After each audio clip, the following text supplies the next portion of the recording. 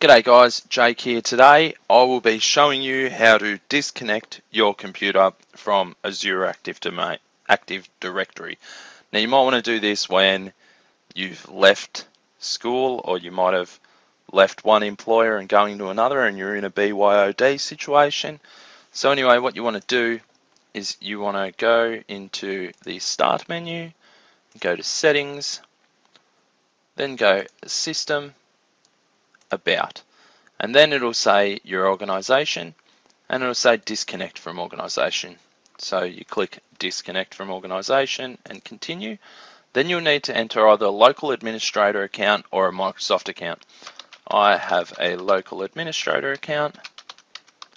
So I'll type in the credentials for that, hit OK, and then it'll disconnect from your organization. You'll just need to give it a moment. After restarting, you won't be joined to the Azure Active Directory anymore. So we'll restart this computer.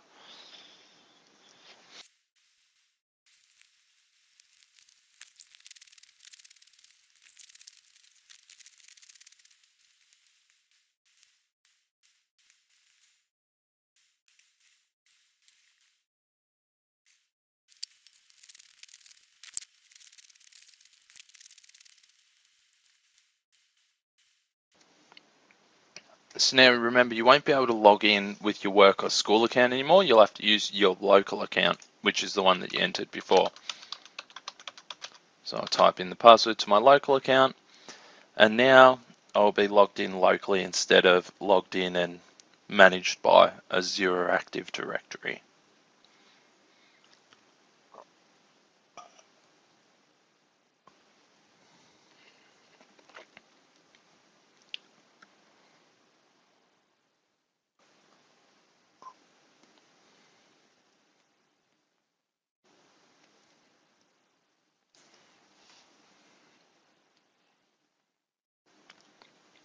So now what we can do to just make sure that it's not on Azure AD anymore, if we go back into the settings and check the About tab again under System, it should not say that we're connected to any organizations. As you see, now we're not connected to any organizations. Anyway, don't forget to like and subscribe.